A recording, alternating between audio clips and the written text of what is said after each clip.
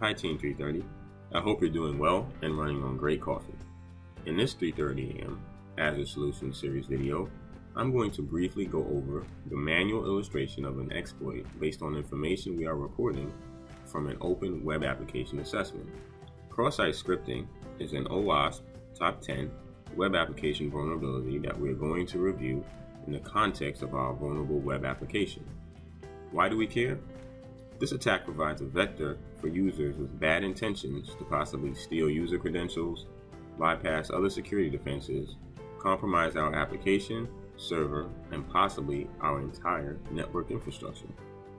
On my screen, we have the ZAP Zed Attack proxy from OWASP that has reported the possible cross-site scripting vulnerability. It is currently categorized as a low-risk vulnerability with a medium confidence, as we see here.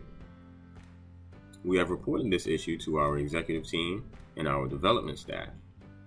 We are working under the assumption that our perimeter defenses have been compromised and we require an increased level of defense in depth. However, we need to prove that the cross-site scripting exploit is possible. If we transition over to our target application, we'll submit our payload. We'll roll over hello click me and we'll see that it says the site is vulnerable. If we go back to Zed Attack proxy, depending on our risk categorizations for cross-site scripting vulnerability, we can change the risk level. Ours may be a medium, and we'll also update the confidence level to confirmed.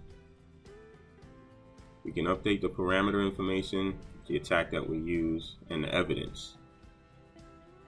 For more information on web application assessments and testing platforms using Azure, please contact 330 AM Technologies. Thanks for watching, and don't forget to strive for greatness.